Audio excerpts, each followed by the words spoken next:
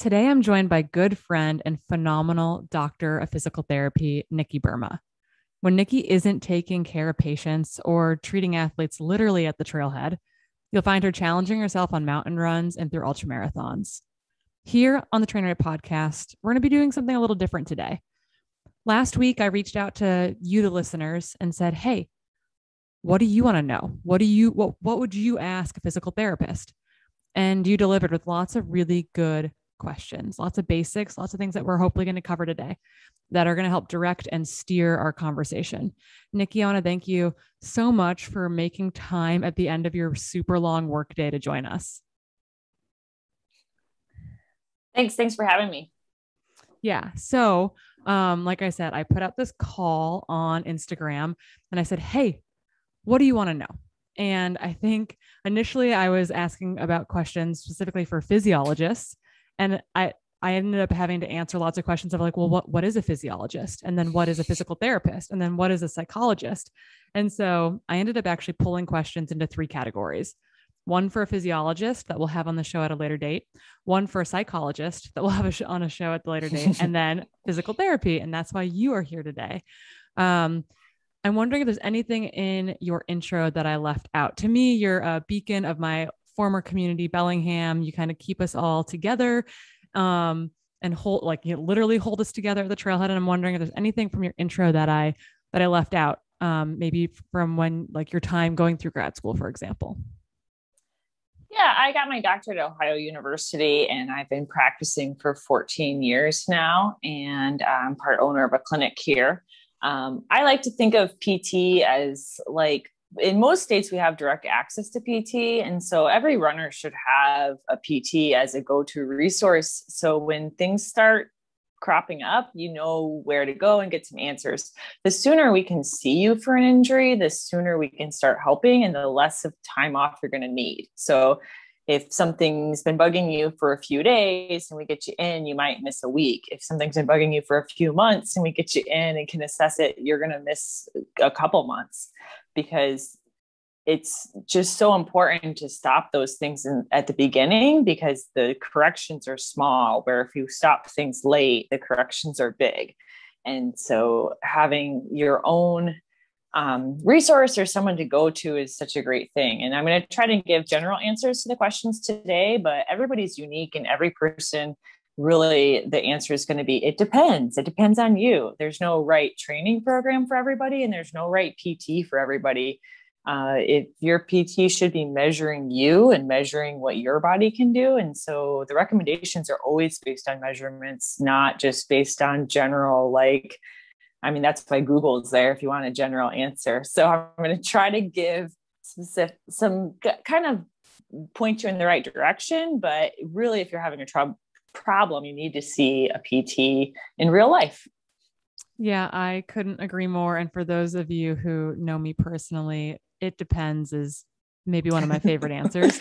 Um, but it does, it, it truly does depend. And I think what you brought up was a really important point here that we can kind of jump off of is that um, like I coach athletes remotely, right? Like all of you that might be listening, some of you are my athletes through CTS.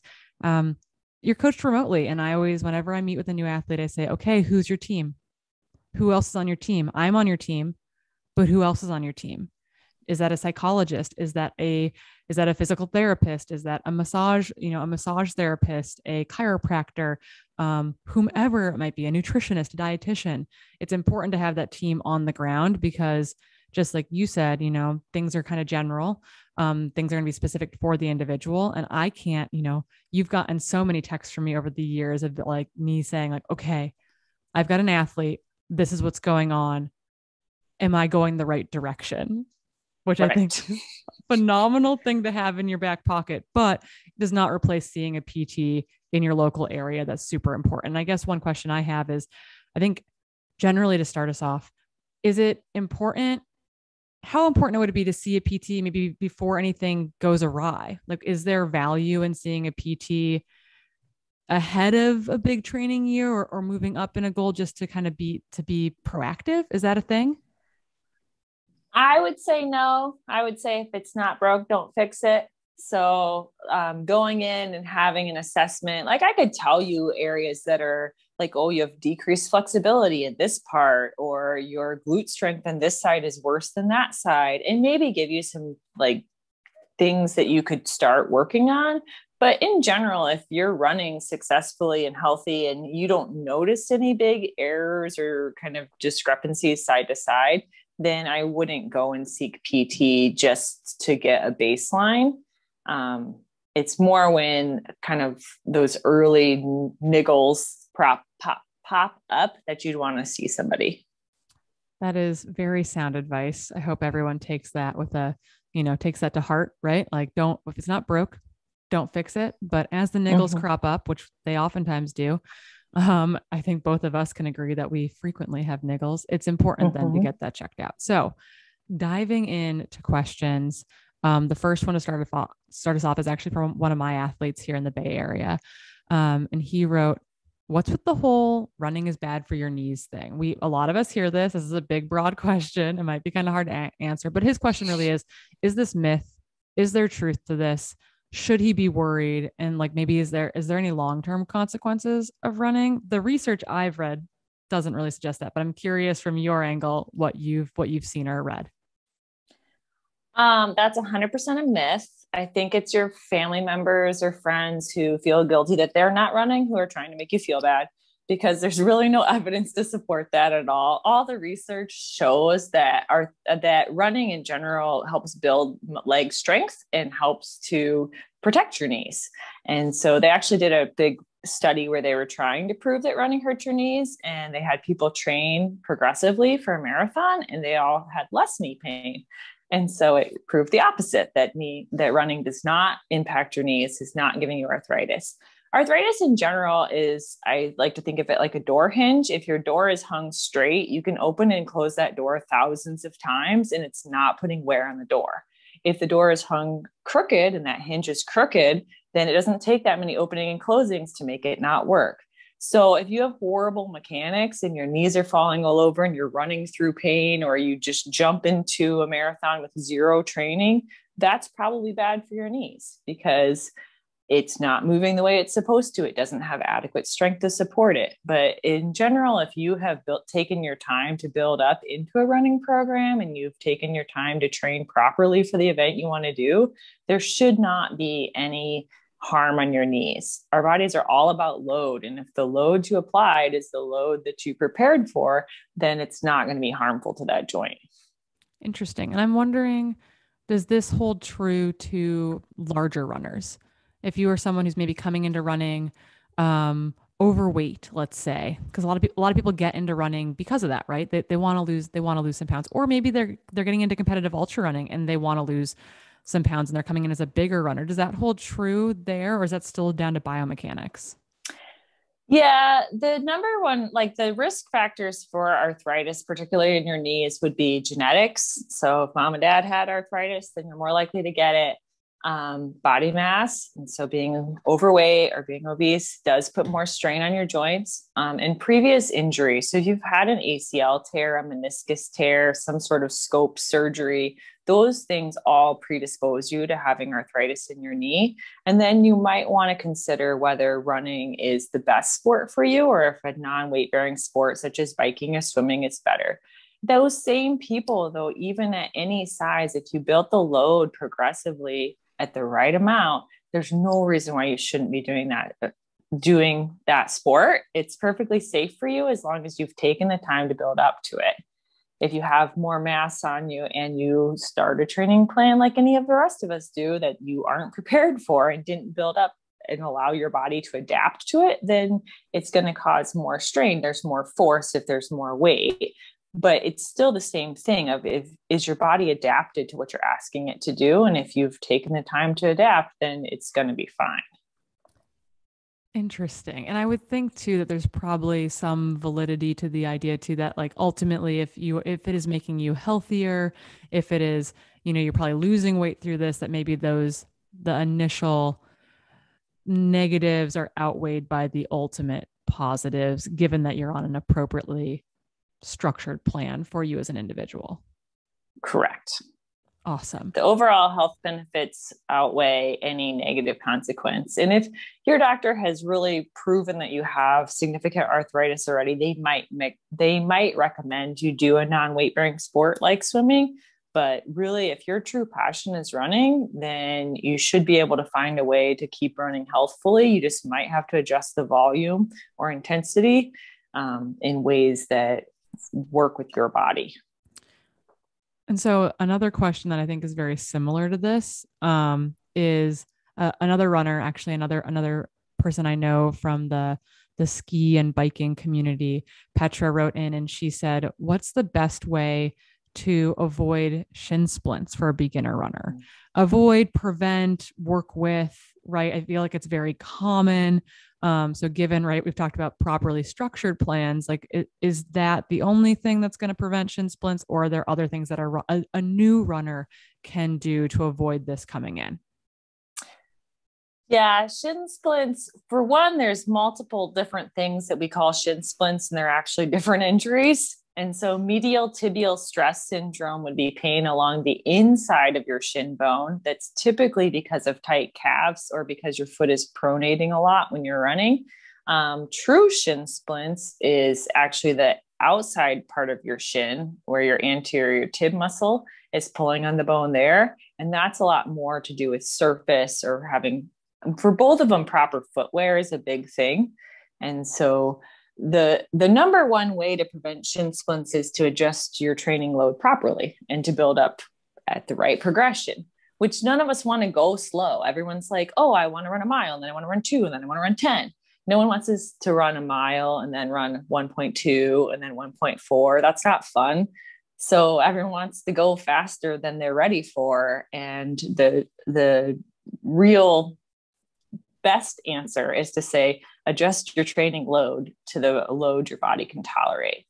Now, the kind of ways you can maybe help that go a little better would be things like making sure you've got the right shoes for you. And so eh, you might need a shoe that helps with pronation. You might need a shoe that actually has more cushion. It depends on what's going on with your foot.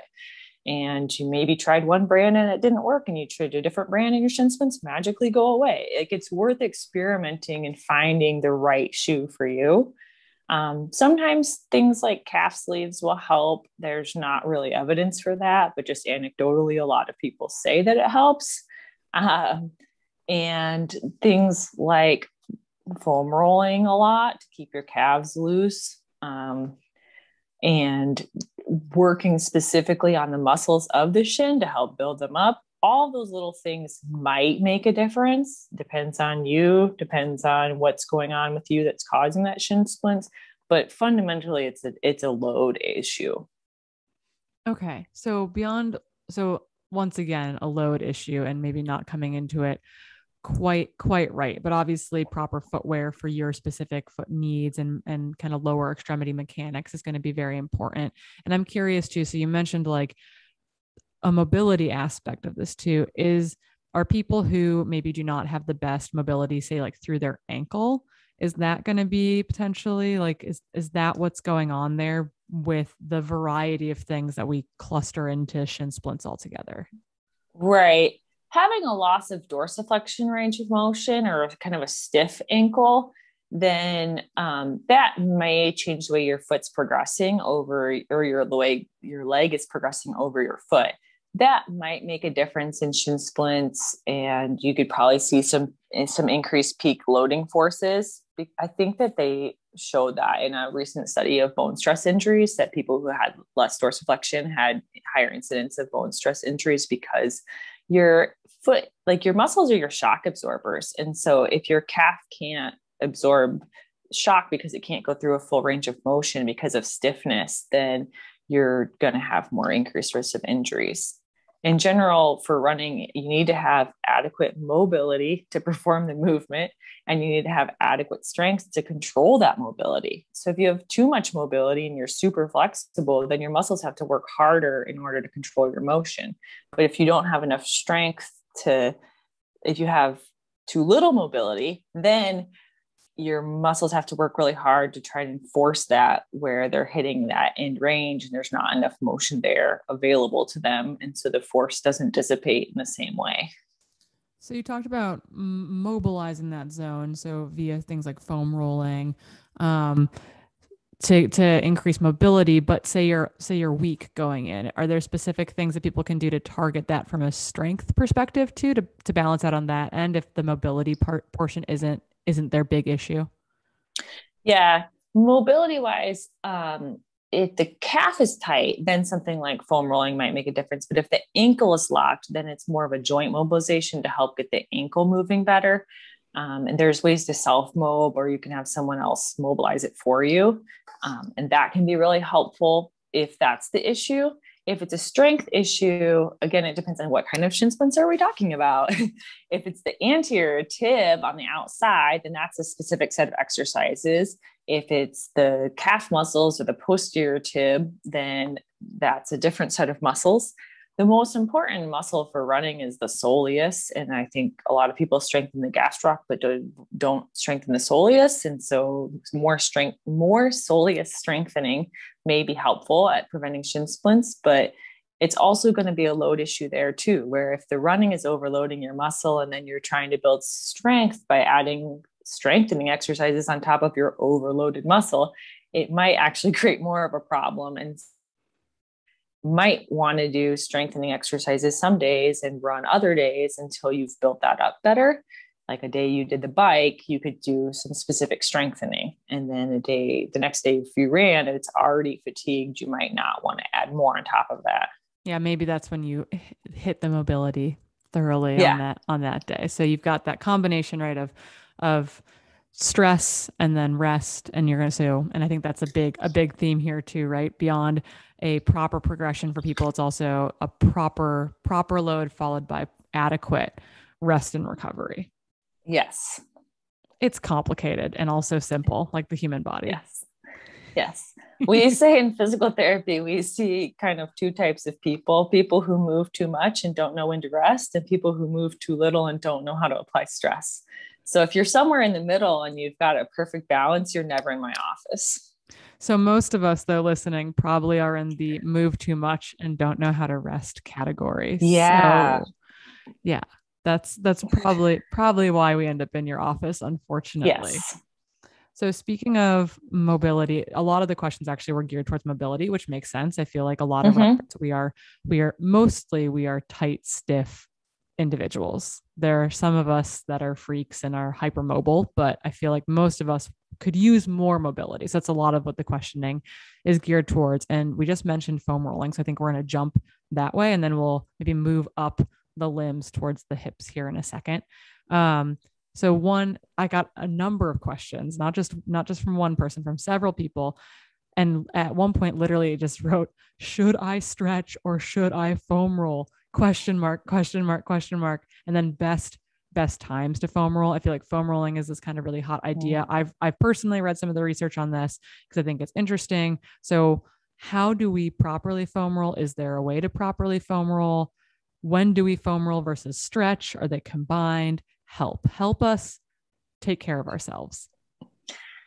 Uh, the answer on stretching is probably not, but maybe it depends on you. Um, if you have adequate mobility to do the act of running, so if you have enough range of motion to go through the mechanics of running, then you don't really need to stretch.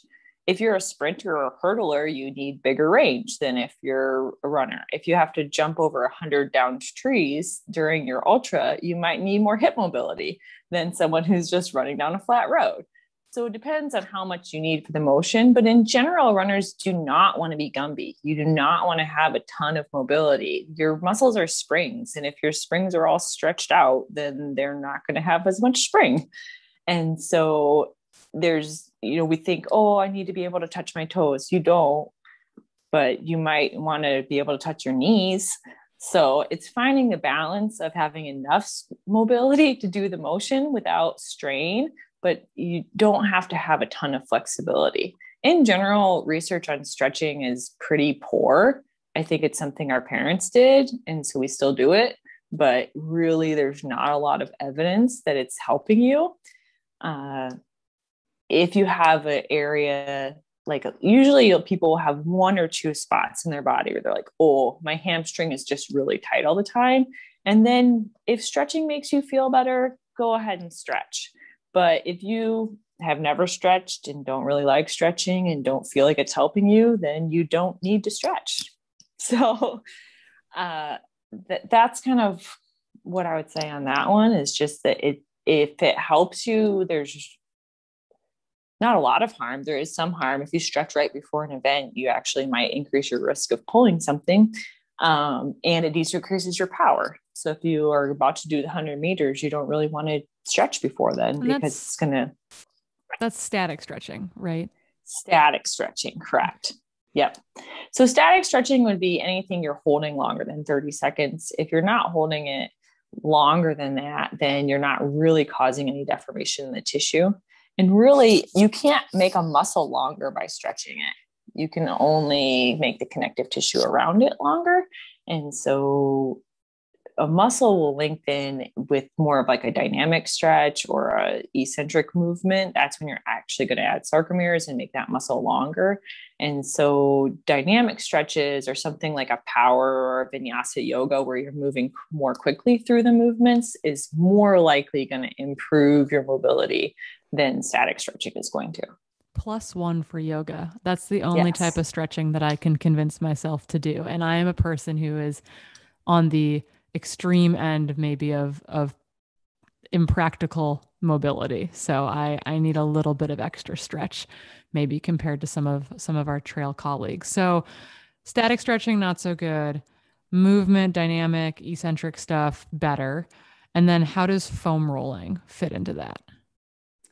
Yeah, foam rolling is something where there's not a lot of research evidence that's great to say that foam rolling works most people find that it helps in some way if they're consistent with it.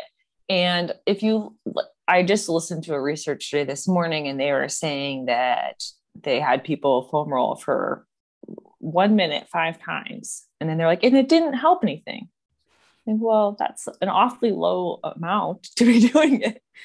And a lot of, so, so I think some of the studies don't really look at foam rolling the way most of us would do it they're trying to make it fit into a research study where it can be controlled and then sometimes i feel like that misses the point. So there's i think there's more benefit than what the research really shows in in a lot of the studies out there. A lot of the studies also show that your perceived pain decreases and your perceived mobility improves but they didn't actually show a change in tissue length. Think well I don't really care if it's actually longer. If it feels longer and it feels better, that's kind of the important part to me is what it feels like to me, not the actual length that it measures.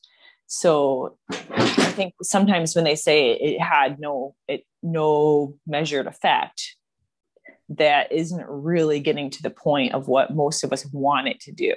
The other complaint that they say in a lot of studies that they cite is that it's a short term effect. I think, yeah, but we usually recommend you doing it daily. So if you're foam rolling for a little bit daily, then it's short term effect is good enough, right? If I'm going to foam roll today and expect to be loose a month from now, then that's doesn't seem likely. And I can see why they're showing there's no effect. So I think for most people, it's worth trying to see if that helps you. A foam roller is a great way to scan. So as you sweep up and down your whole leg or kind of go over an area, if it feels great or if it feels the same right to left and there's not a lot of tender spots, then you know that your muscles are probably in pretty good shape and there's not a lot of soreness there. Where if you know, after an ultra and you try to get on a foam roller and you're crying because it's like, I can't even put pressure on that because your muscles beat up and it's painful to put pressure on it. So that's if you're going through and scanning kind of your major muscle groups or your usual problem areas, you can pick up on things earlier. So you might not notice calf pain when you're running, but then you go to roll and you think, oh man, there's a big knot behind my, you know, knee or towards the top of my calf that might be an indication to you that you might want to back off in training or take a little extra time to kind of give that muscle some love that you can prevent something from becoming a bigger problem I mean, foam rollers were invent, were invented because most of us can't hire masseuses every day. So Wouldn't it's a way for, nice, right? That's like if we were all rich, we would just have someone else massage our muscles and we wouldn't need to foam roll, but most of us can't. And so a foam roller is supposed to be there as a way for you to kind of check your muscles health, see how they're doing, and work on some problem areas if there's something that feels restricted. If you're rolling back and forth and you feel nothing, then don't roll on that muscle. It's like, okay, my quad's fine. I don't need to do that today. And then you might roll to the next one and go, oh, yeah, but my calf really does need it. Yeah, I think most of the recovery research that I've read, so on different recovery modalities, and foam rolling generally falls into that category, is that there isn't a lot of conclusive evidence. And by conclusive, I mean particularly with like when they're trying to measure specific things like a blood value marker that's going to mark like inflammation being lower or something. But they oftentimes found that the athletes felt better. They felt more recovered. And this goes for foam rolling, for compression sleeves, for um, the puffy pants things that circulate the blood. Yeah. yeah. Um, you know, uh, stim like stim devices, right? That are gonna get like like and do some contraction stuff. Um, I think massage was included in that, and it was like mm-hmm. not necessarily conclusive research on any of it, but if but if you feel better, you generally perform better. It's like you look good, feel good type of thing too. So I think it's right one of those things where it's like, uh, there's probably no harm. So right. You know, that's kind of maybe the aim there. Yes. I think it's hard for them to to design a study to really measure what we want to measure. It's so hard to actually measure those things. And so, because of that, we try to simplify it into like, did the range of motion increase or did their power increase? And it's like, well, that's not really, you know, I didn't really expect that to increase, but I wanted the person to feel better and to feel less restriction. And usually those things are improved. Yeah. And so my I guess my next question is like so we talk about it being maybe short of short-term value and maybe that's day to day um, and that's kind of one of those things a limitation in a lot of those studies too is like how are they applying this thing? But um, if we're looking at the okay it's it's got short term effect perhaps we don't really know is there a best time then? Like should we be foam roll should we get in the habit of foam rolling pre and post run? Like what should that look like if we're going to get the most out of the you know better better you know decrease in pain and increase in perceived mobility where does that fall into our our day as an as a runner? Yeah i would say it depends. It depends on you. Uh, the best time to foam roll is a time when you're actually going to do it. And so if for you foam rolling while you watch tv at night is a time when it's going to happen great do it then. If doing a little bit pre-run helps that legs swing a little bit easier and feel a little bit better, do it then. A lot of people do it immediately post run. And so, run when you get back, you spend five ten minutes kind of cooling down, foam rolling. They actually said, I think that they've proven that socializing while you're post run, like 10 minutes of recovery time where you're socializing, is actually the thing that's most beneficial. So, if foam rolling at the trailhead where you talk to your friends is how you do it, then that's going to just bring all the more benefit.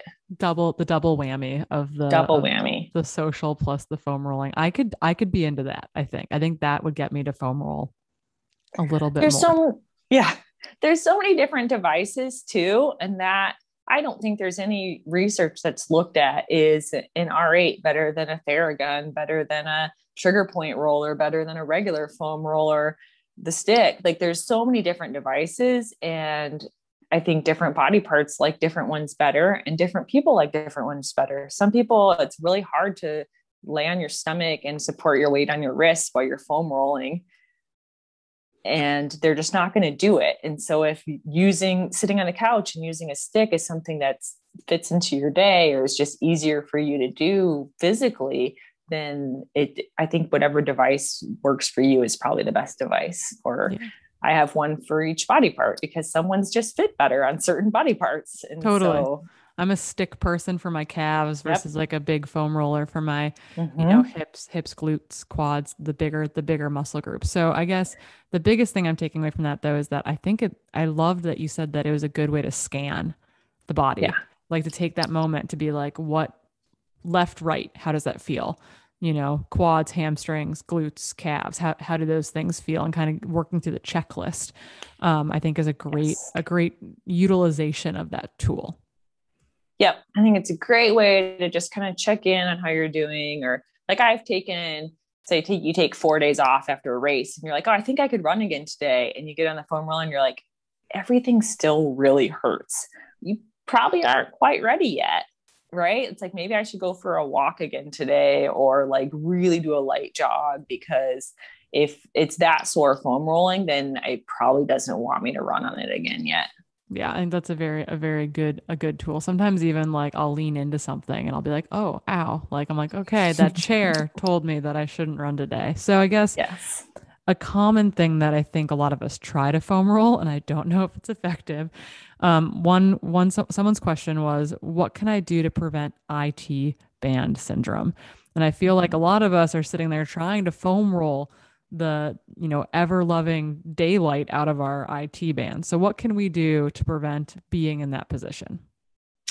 Yes, and the the IT band in particular is a super dense strip of connective tissue, and so like there is no research that has shown that you can deform that IT band in any way by compressing it with a foam roller. Um, particularly what attaches near the knee, you really don't want to roll right on that.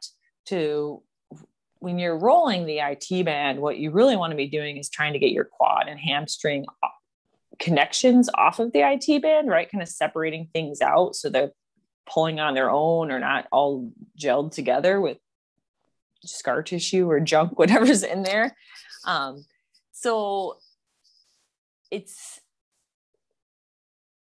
eh, the main reason why your IT band, I'm like, the main reason your IT band hurts is a load issue, right? So once again, if your IT band is tight or you're having issues with it, it's because your rate of progressing running is too fast. Um, but rolling or massaging or loosening it up, all of that can help to just make it feel a little bit better. But it's mostly but, maybe about the surrounding. It sounds like it's almost more about the surrounding tissue and mobilizing everything else than actually mobilizing the IT band. Yes, that's what I mean. If you want to, if foam rolling helps your IT band feel better, or if you want to foam roll with their IT band, I wouldn't think of like you're not trying to iron out the IT band. that's not going to work. It's too broad. But if you can kind of get in on the edges of it and try and free it up from some of the tissue around it, or just get things moving better through your whole leg, that might help some. But don't think of it as like you're trying to pulverize this IT band. Yeah, that sounds to me that sounds absolutely miserable and I have no desire to pulverize anything near my IT band. So it sounds like once again most most obviously athletic injuries are generally besides acute injury where maybe you've fallen or made a really funky movement, it sounds like most athletic injuries that runners are going to face are generally load dependent and this also falls in to that category. And so obviously mobilizing is beneficial, but what what else can a runner do beyond making sure their load is appropriate and they're properly mobilized to try to prevent you know having having IT band problems? Yeah some little things that like nuances of IT band that people don't often know is one your IT band will typically feel better at faster paces than slower paces. That's not all the time but if it's a stabilizing structure that's meant to kind of stabilize your knee and hips, then if you're going really slow and plodding along, that's a lot more work for it. And so, actually, doing a shorter run that's a little bit faster than your normal pace. I'm not talking like sprinting, but like if you normally run eight minute pace, maybe run 745, and cut your distance from eight down to four because you're going to run a little bit more efficiently with a little bit better form for a shorter duration. And that a lot of times will help take load off of that IT band and help it to feel better. Uh, watching out for camber on the road, making sure that you're not always running on one side, having the right shoes so that your foot's not doing funny things and and putting extra load on it that way can make a difference Um, so it kind of sounds to me like there's like um like a mechanics or kind of structural and I mean man the whole body's connected right? So it's like if you've got an issue down downstream or upstream from from your IT band from you know you're, you're talking two major joints here right? The hip and yeah. the knee. Okay that's a lot there's a lot of stuff going on there. So to me it sounds like beyond load maybe load is also triggering you know some sort of imbalance in like insufficiency either mechanically or body position wise in general that could be putting added strain through there. Is that a logical leap for IT band stuff? Yes. So if you're falling into a lot of knee valgus that's going to put increased load on the IT band. If you're uh, like a lot of times when people first get it is long runs so whether your long run is four, whether your long run is 24, when it's a long run for you and you're starting to hit that fatigue point where your quads and hamstrings and things are fatiguing out, the IT band isn't a muscle, it's connective tissue. So it can't fatigue out. And so the load kind of transfers into that IT band and it's going to get overworked.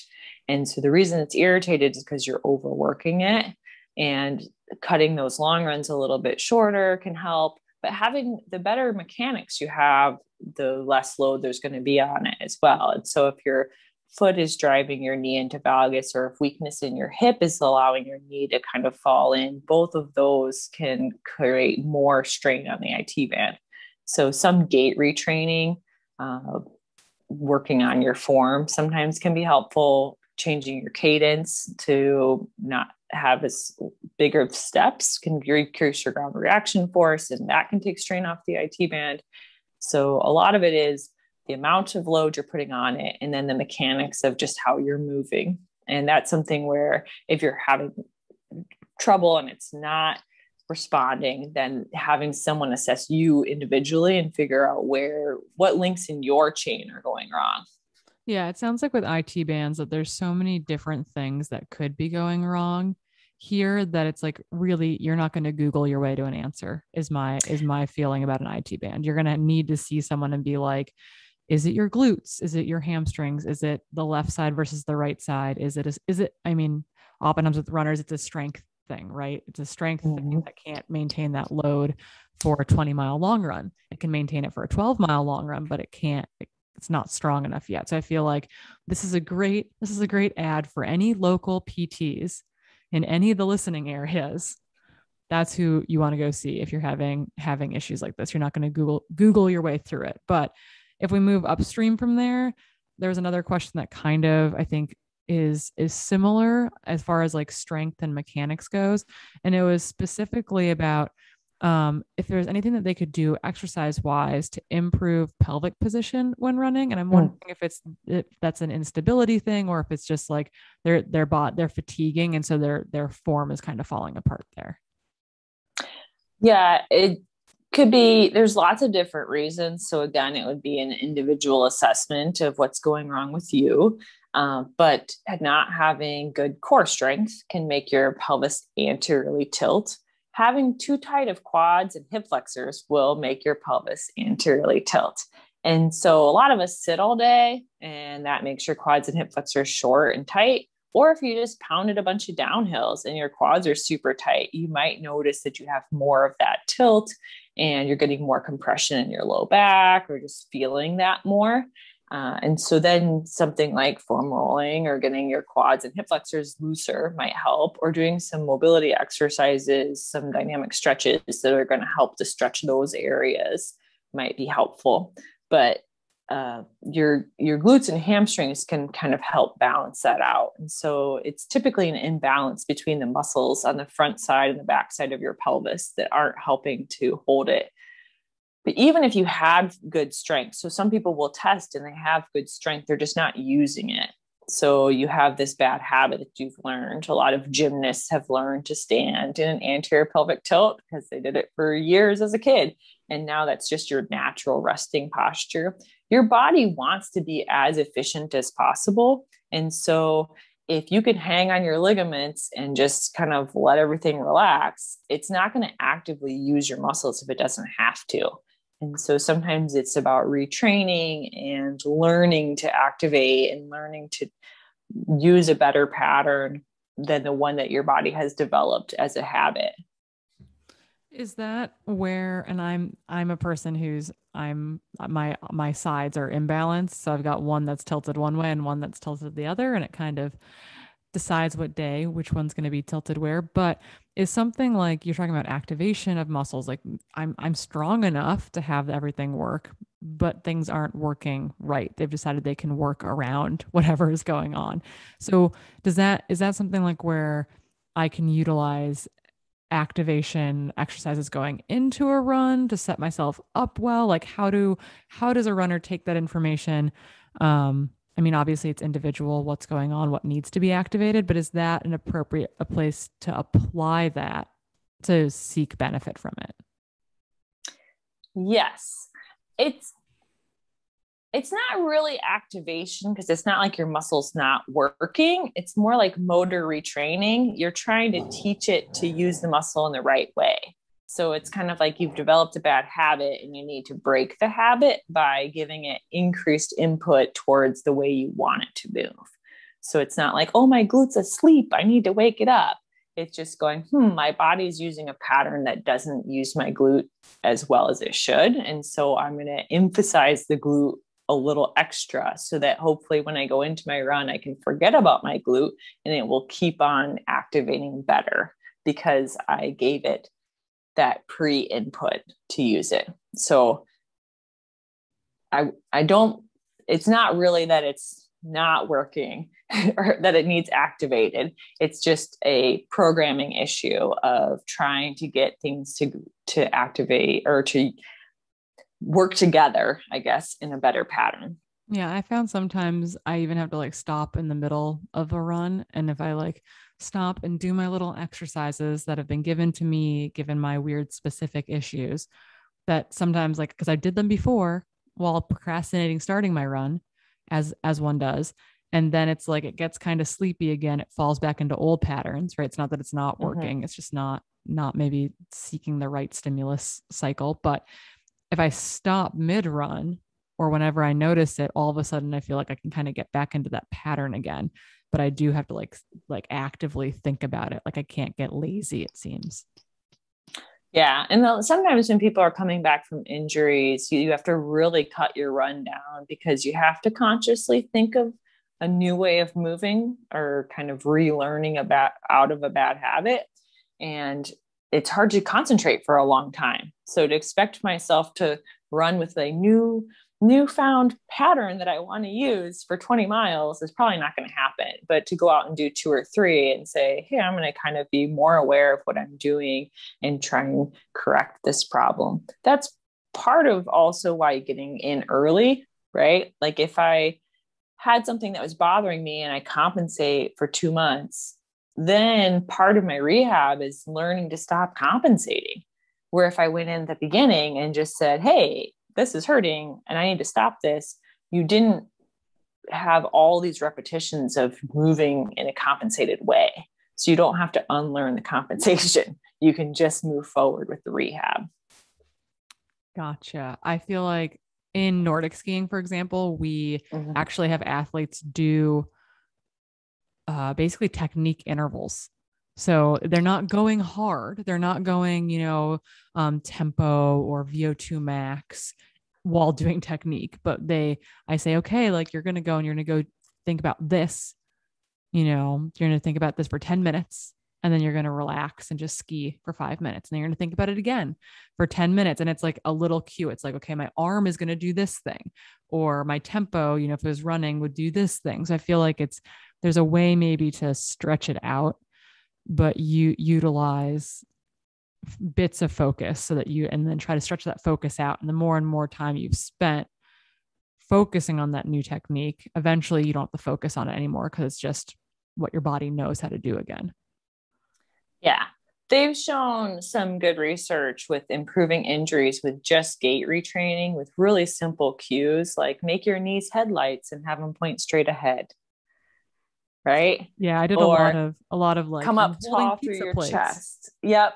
So coming up tall through your chest and trying to have your head be high or tall so that you're not slouching into that posture or getting that anterior tilt. So it can be, and everyone's going to have different cues and, and different things that are right for them. But finding a few little things to think about that help you to have a good posture um, or kind of have improved or the, the best possible you mechanics that you can have, um, some of those can help. And there's no right or wrong way to run. It's not like we try to make everybody run the exact same pattern. You just look at someone running and say, what issues are they having? And is the way that they're moving contributing to that issue? And if it is, is it worth changing? Like what what's the cost to change that? Like is it going to affect their efficiency by a ton if I have them moving this way versus that way? And then what's this the change in load on their tissue? So you might temporarily choose a different pattern because of the load. Like you might need to unload one issue. And so we kind of change your form for a little bit to allow you to still run. But then that's again like how long do you want to do that pattern? Because you might want to go back to the normal pattern that you used to use too. And so there's a balance there of of adjusting things to keep you running, but not allowing too big of compensations that you kind of learn or fall into bad habits. Yeah, there's um there was a, a guy who I got to hear speak a couple years ago who works at the CU Sports Medicine Clinic and he does this what he does. He does like gait analysis and that kind of work mm-hmm. in there in the lab like in the lab slash clinic there, which is kind of cool because they're working alongside PTs and and all that kind of stuff. So it's this really kind of, I don't know, it feels like a holistic approach to have all of that under one roof.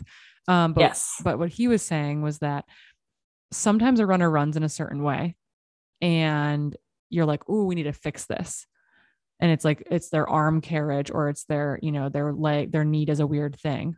But he's like, oftentimes if we fixed one thing, it caused a different thing. Or they weren't actually inefficient and they weren't injured. And so it wasn't worth fixing to make them look like they ran a certain way. And so it was really interesting to think like, oh, okay, like this thing that I would see on a runner, I'd be like, oh, that's weird. We can make a small tweak and this will fix this. This will change how they run. But the downstream effects of those seemingly innocent changes, unless you have issues, if you're chronically hurt, yeah, maybe you do need to change something in your gait. But if once again, this kind of circles back to the very beginning of this conversation, like if it's not broke, don't fix it. Right? Yes. Yeah. yeah, I think gait is the biggest one where that uh, rule kind of applies, where you don't want to go changing someone's form uh, if they've not had an injury before. Like so many people read that they should run on their toes, and I have people come in all the time and they want to run on their toes and their forefoot, and I think, why? Why do you want to do this? And they're like, but I read it in a book.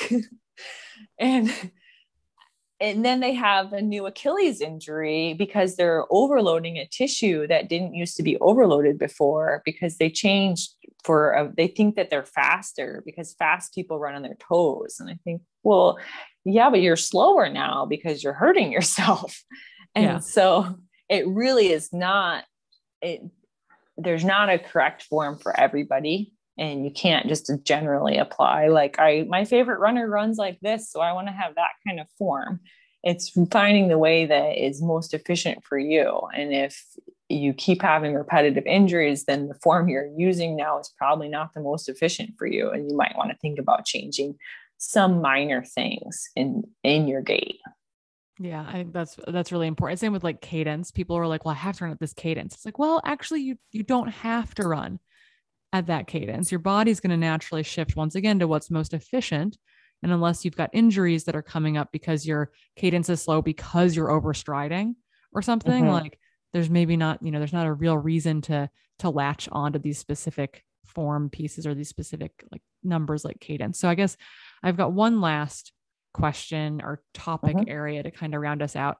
And um, I think it's interesting. And I think this is definitely very much in your wheelhouse. And the question was Does strained or injured muscle tissue, and right, like we'll be able to differentiate here, right? Muscle tissue versus other tissues. Um, does it feel, does it heal faster rather with ice or heat? Like, what's the appropriate go to for injured muscle tissue? And then maybe we can talk about some other tissues um, for re- repair and healing as well. Yeah. On a research side, kind of evidence based, I would say there's probably not a lot of research to support either one. So do whatever feels good for you because you're probably not hurting something and it's probably only helping your perception. Um, there's generally, if you just strained something, then rushing a whole bunch of blood flow to it when it could like actively still be bruising seems like a bad idea. So, in the initial kind of acute phase, first day or two, you probably would want to ice. But beyond that, if heat makes it feel looser, then that can be helpful. If it feels hot and inflamed, then you should probably ice it. Um, if you're somebody who hates ice and it makes you feel really tense, then that's probably not helping your muscle get looser.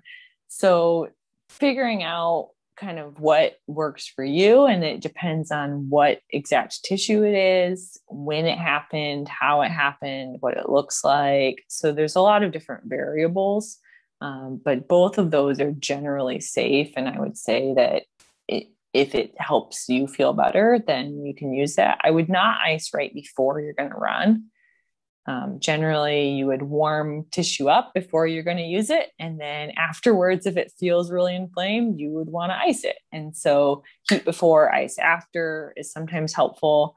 Um, if you feel like that just really needs more blood flow, you can alternate heat and ice because that's just going to help get blood flow to the area but um, movement is better than either of those. So, like, you're going to heat a muscle up a lot faster going for a walk than you are by putting a heating pad on it. I'm into that. I will definitely go for a walk. Um, so question question comes to mind for me here. Um, so muscle tissue, right? A little bit different than say something like tendon or ligament. And if people have tendon or ligament strain, let's say strain as opposed to like something more serious, right? Um, what to me, you just talked about heat and ice and how alternating it would create more blood flow. Those things are not super well, they're not very vascular, right? Like they don't have a lot of their own blood flow. So would that be the most logical approach for a tendon or ligament issue? I don't I don't know if there's a good answer there. I don't think heat or ice is going to do much to a tendon or a ligament if say you sprained like a ligament i'm thinking like ankle right? So you sprained your ankle ligament you overstretch that ligament a little bit. If you have a lot of swelling because of that that swelling is stretching the capsule which is going to decrease your proprioception. It's going to make you feel it's going to make your ankle feel more stiff. And so icing to reduce swelling so that the ligaments and surrounding muscles can function properly so that the joint can move through its motion properly, that's going to help. Um, same thing with a knee. If your knee has been grinding and it's irritated and it's puffing up, it can swell in the front, or a lot of times the swelling will go behind your knee, even though the pain is actually from your patella on the top of your knee. Then icing so that the joint moves normally is going to help it to move better.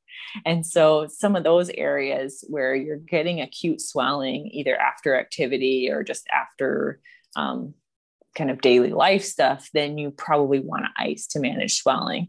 If uh, something feels really stiff, like you wake up in the morning and your Achilles is really stiff, then putting some heat on it so that you can actually like put your foot flat on the floor and not walk on your tippy toes around your house that um, taking a hot shower so that that muscle loosens up a little bit, then that is probably going to make more sense than putting ice on something that already feels incredibly stiff. Yeah, we're laughing because I'm sure both of us have done that before. you know, getting Never. out of bed in the getting out of the bed in the morning and your heels don't touch the ground. I think mm-hmm. that might be mm-hmm. an all too common experience amongst amongst the listening audience here. So I guess I'm gonna I'm gonna let you go for the evening so that you can go have dinner um, and get out of your office after a long day. But to summarize here, obviously we've talked about a lot of different topics, but you know it seems like load is important right understanding where you are in your training progression um, to not overload is going to be one of your best ways to avoid injury um, mobility and things that make you feel good are is probably the next most advantageous thing, right? Like if it makes you feel good, makes you your muscles feel better, it's probably okay. It's definitely not hurting.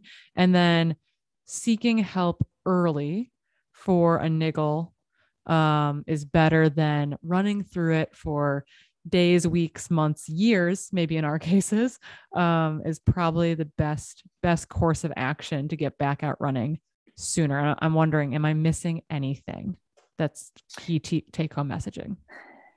Yeah, I think those are the highlights of of really almost all injuries in running and just in general life is a load issue. And so proper training progression, proper load, having a coach or someone to hold you accountable when you want to do something that's probably not the right amount of load for you is a great idea. And the more tailored that kind of plan is to you and your needs or someone watching and kind of looking at your feedback from training and seeing if you're overloading or if they notice a pattern if you've been fatigued and kind of backing off before something becomes a problem um, can make such a difference and the uh, all these other little things are things we do to try to help us tolerate more load than what we really can and so um, I, I listened to one of my favorite PTs and he just said that. He was like, You guys are doing all these things to help you uh, tolerate more load. And I said, Yeah, we're ultra runners. Of course, that's what we're going to do. Um, none of them are extremely effective, but it also, some of them might be a little bit. And since running more is what most of us want to do, then it it's worth your while to spend some time on some of those things, but know that the number one thing you can do is have the proper training load and that resting and stressing your body in appropriate proportions is probably the best thing that you can possibly do to avoid being injured. I think that that is the perfect way to end this. Moderation for all of us, even though we're ultra runners, and moderation is not maybe our favorite thing. Um, if you liked this style of episode, I'm hoping to do more like this. If you've got specific PT questions, um, slide into my DMs. Nikki as well, um, Nikki Buurma PT on Instagram. She posts amazing videos. Um, I find them really helpful. I get to incorporate them into my life and I get to I send them to athletes when they have specific issues. So check out Nikki. Again, that's Nikki Buurma PT on Instagram and we will link that in our show notes. Nikki, thank you so much for joining us this evening and we'll see you all out on the trails.